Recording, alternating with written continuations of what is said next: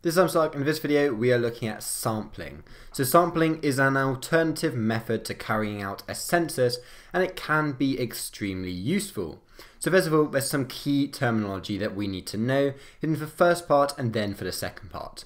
So a parameter is the number that describes the whole population. So this is taken from a census. And then a statistic, though, is a number taken from a single sample, and this will therefore be taken from a sample.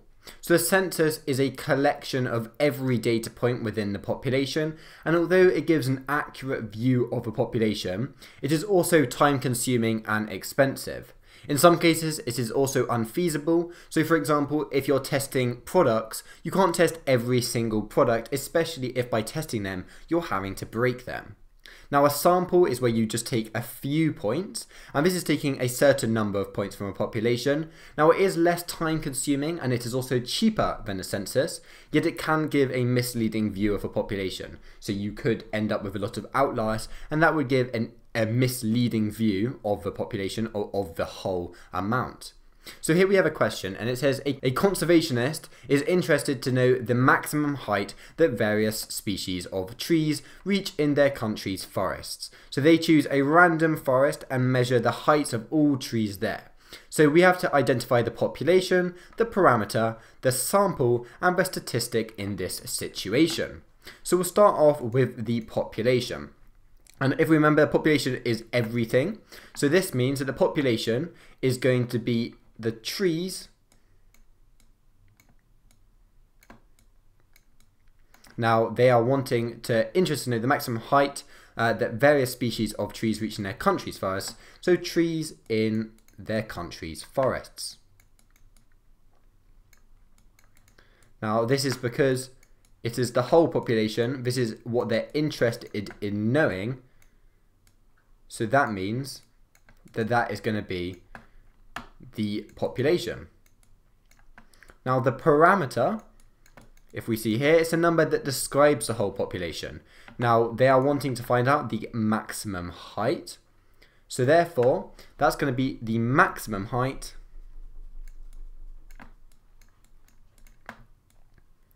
of trees of the trees in countries' forests. So we're using that population because this is a, a, number that describes the whole population. And as the population is the country trees in the uh, country's forests, it's simply the max height of the trees in the country's forests. Then a sample, and this is taking a certain number of points from the population. And we can see that his sample here is about using a random forest. So this means there's going to be trees in the forest. And this is because he measures the heights of all trees there.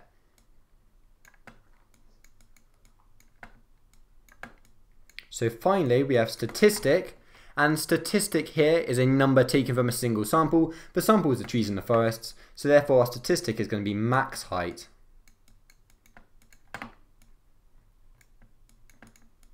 of trees in the sample.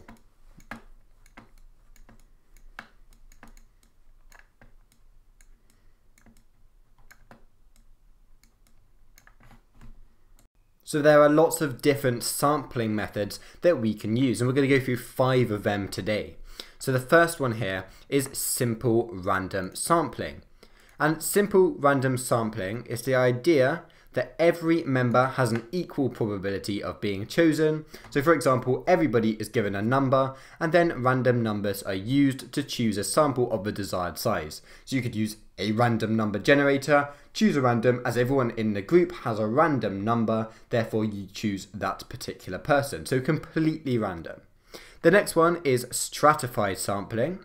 So this is where the population is split up into groups and a proportional representation of the different groups is selected. So for example, if you wanted to split things up into age, you could split a group up into age. So you would might have a group of 18 to 25 year olds. And if there was about 20 um, 18 to 25 year olds, but only four uh, 60 to 65 year olds, say, then you would take a higher amount of people of a 20 uh, of 18 to 25 year olds in your sample, and that is the idea of a proportional representation. The next one here is systematic sampling. And for systematic sampling, you have to find a, sample of size n from a population of n, a uppercase n. So then select one member from the first k members at random and select every kth member after that. So k is equal to big N over small n. So for example, if we had a, a population of 300 um, and we were wanting a sample size um, of around 50 say, then we could take k would equal 6 so therefore, what we would do is we would choose one member randomly from that first six, maybe using a, a, random number generator.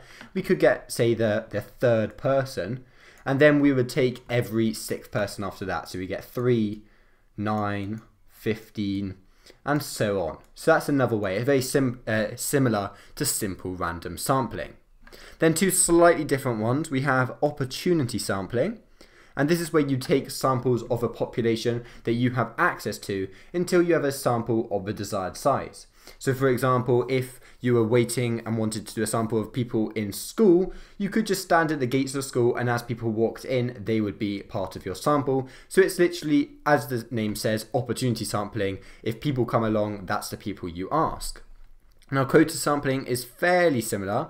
However, in this one, you have split the population up into groups and then using opportunity sampling, a certain number from each group is chosen in any order.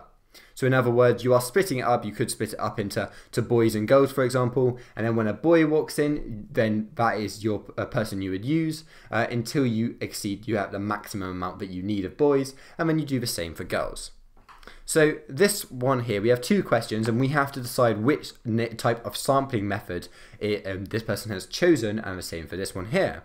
Now this one says that Kwame wants to investigate how much time Year 7 students in his school spent playing sport. So he gets a list of Year 7 students and selects every fifth student on the list to add to his sample.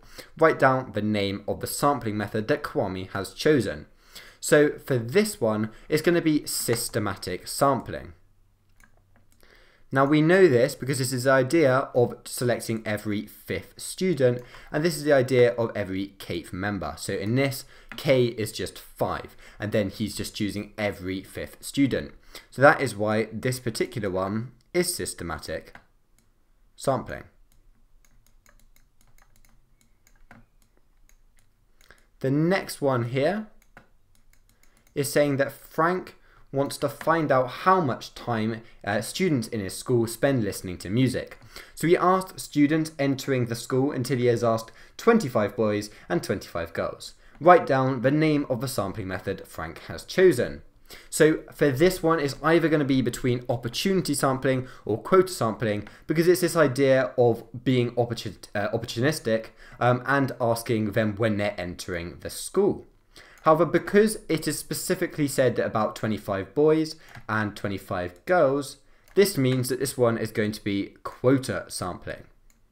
And that is because the population has been split into groups. Now, there's only two, uh, two groups, it still has been split into groups. So that is why we're using quota sampling here and not opportunity sampling. So our final question of the day says that there are 550 students in a school and they all study either French or German or Spanish. So here we have a table saying that the language French there are 181 students who study French, for Spanish there are 146 students, and for German there are 223 students, and this all equals up to 550. And that's because they all study French or German or Spanish. So an inspector decides to take a sample of 40 students stratified by the language they study. So by the stratified, we're looking at the idea of proportional representation. So in this 40 students, it will be proportional to the amount of students who study French, Spanish and German. So therefore there will be the most amount of German students and the least amount of Spanish students. So this one asks, calculate the number of students who study German in the sample. So first of all, we have to work out the proportion of students who study German. And that's very easy to do. All it's going to be is 223 over 550. So that is our percentage there. We don't need to simplify it as this is simply just going to be going into our calculator soon. But then we have to look at this sample of 40 students.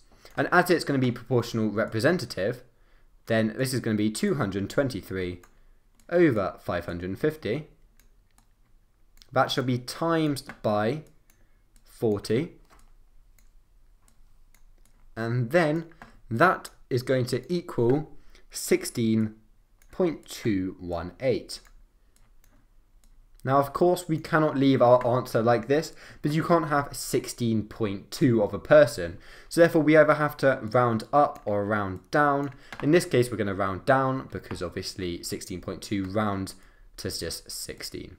So therefore, there are 16 students who are studying German in this sample of 40. So thank you for watching this video and see you soon. Bye.